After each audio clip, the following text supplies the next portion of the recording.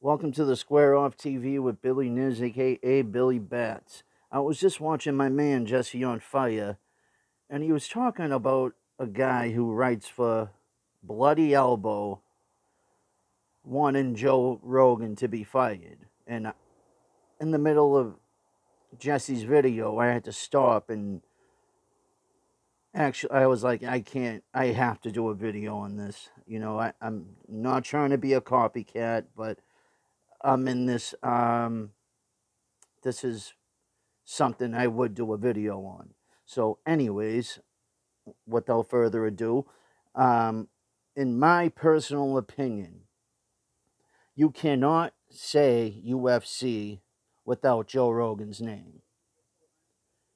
You cannot, I mean, obviously they have UFC events where he ain't there because he does have a $100 million Spotify deal. But without hit, I love when someone gets dramatically knocked out and he's just loses his mind. That's what that's what you call love for the sport.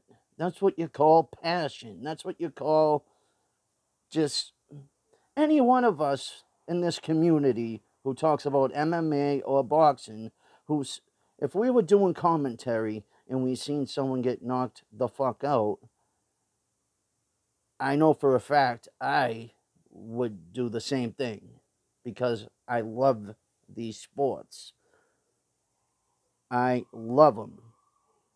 Other than hockey, they're my favorite sports ever. And I couldn't believe they got rid of Joe, uh, Mike Goldberg. I thought him and uh, Joe Rogan were amazing team.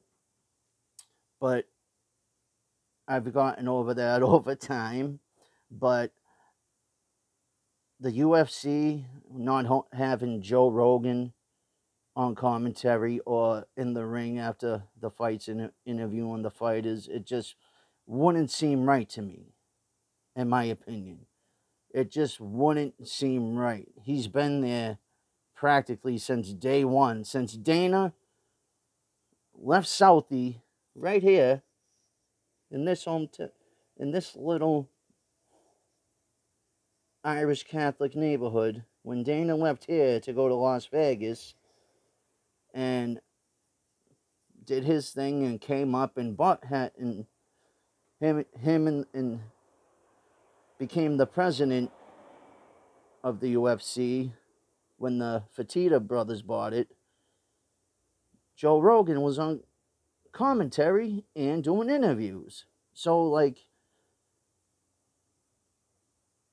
in my opinion, it just wouldn't be right without Joe Rogan being there. It really wouldn't. And not to mention, he's a legit badass. He will kick your. He was teaching George St. Pierre how to do spinning, spinning back kicks. And his spinning back kick is fucking vicious. It is vicious. He had that bag almost off the friggin' ceiling or whatever it was connected to. He had George St. Pierre in awe. And this was the middle, the welterweight, the, the best welterweight champion of all time, with his mouth like, How did you do that? I don't know how to do a French accent. I'm sorry, but like he's a legit black belt under Eddie Bravo. He can break every bone in your body 18 different ways.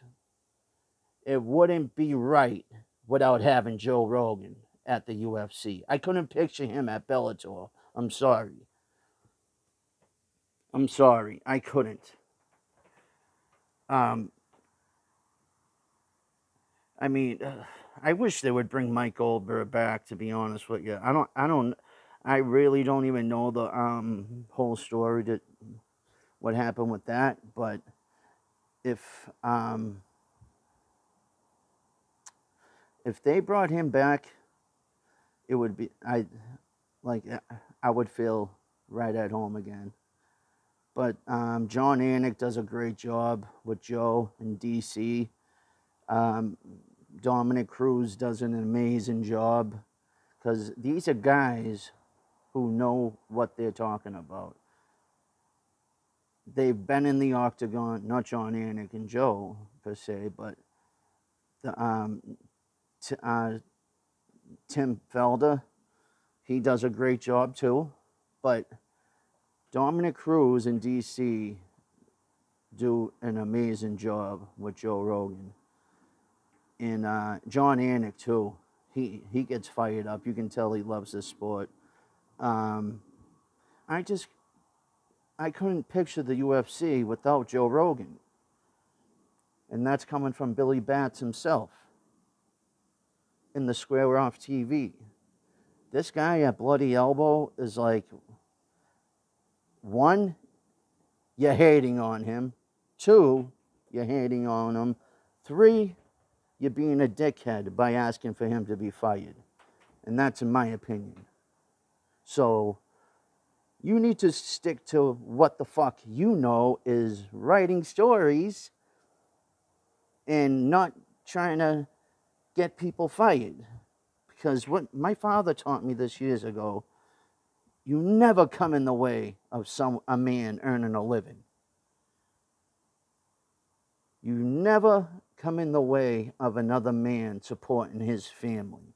And obviously this man, if you want to call him that, never got taught that. Because maybe he thinks he can do the job better than Joe Rogan. I fucking doubt it. So you need to go back down to your basement with the one light bulb and stick to writing stories and keep your nose out of business that don't belong to you. That's what you should do, writer from Bloody Elbow. Jesse had his um, full name, but I, it, I'm not fucking mentioning it on, on my platform. Actually, he's the next next contestant on Boo the Haters Productions. Boo!